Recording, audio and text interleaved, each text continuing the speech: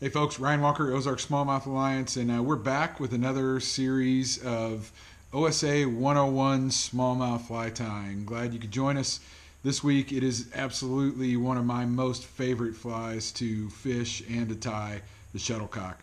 This thing is a killer on our Ozarks rivers and, and uh, streams this time of year from now till uh, high water season's over. Um, fish it on an intermediate or a, or a, a, a slow sinking sink tip thing looks just like a glide bait going through the water. It's got a ton of action. It's got a ton of fish catching qualities, um, and uh, it's a lot of fun uh, to tie as well. So uh, thanks for joining us. Here we go.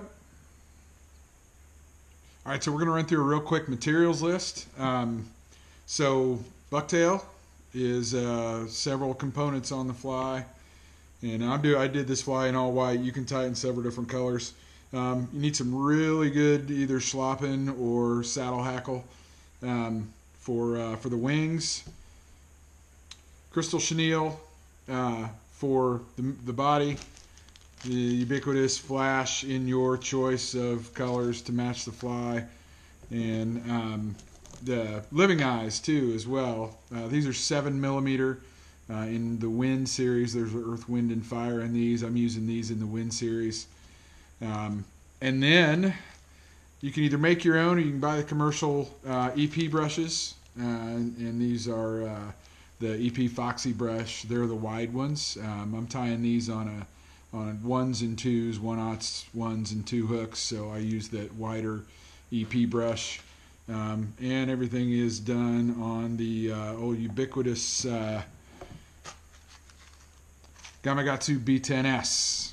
Crazy fun hook to tie on, white big fly, and the secret ingredient, tulip glitter t-shirt paint. Gotta have it. Fun to tie with.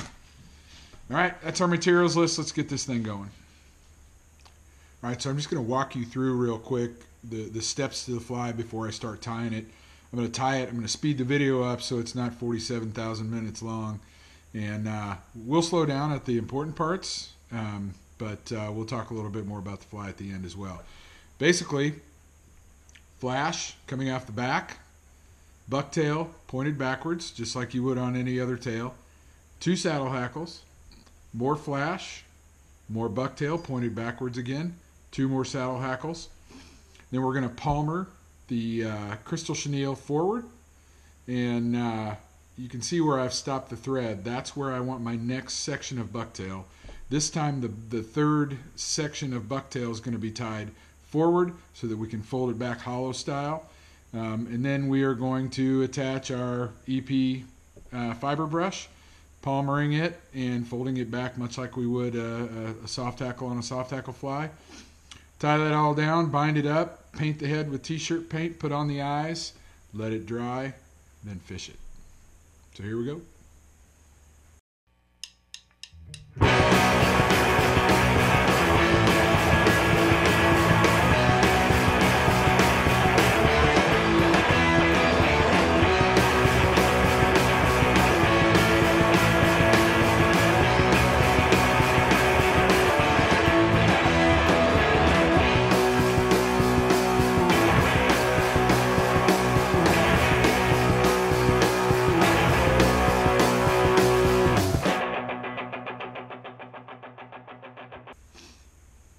So now we're to the point where we're going to um, do the hollow tie, hollow fly style on the uh, on the bucktail for the front.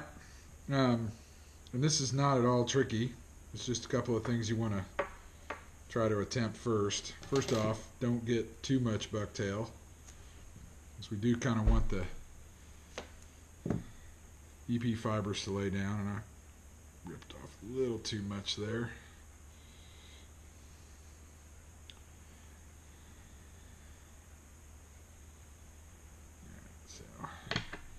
Trim that up, even everything up. This is actually not very difficult at all. I'm probably making it more difficult than it should be. There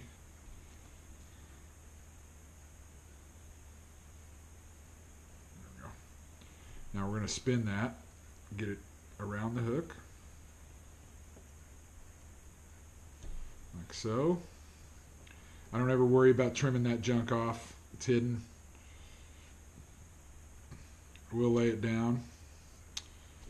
You're going to take your handy dandy Bic pin, empty pin holder tool, poke that all back, get a hold of it, pop your thread through, dam it up.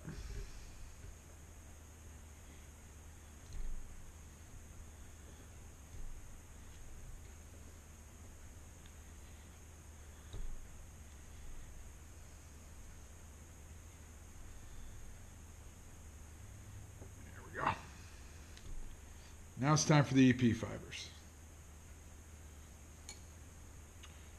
So I always have a pair of side cutters, cut that wire, or borrow your buddy's scissors.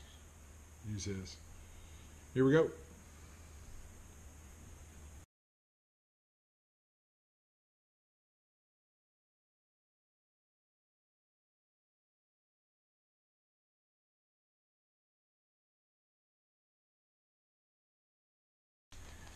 Take our toothbrush tool, brush out all those EP fibers, get them back.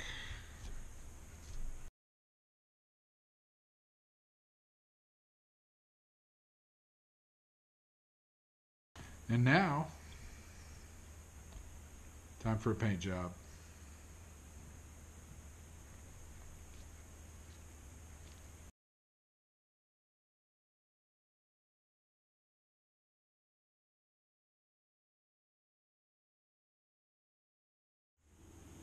All right, time for eyes now. Finishing touches on this one.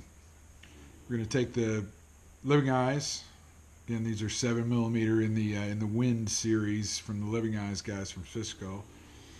Um, and I take a brush, Zap-A-Gap, hit it where I want the eye. My eye off there.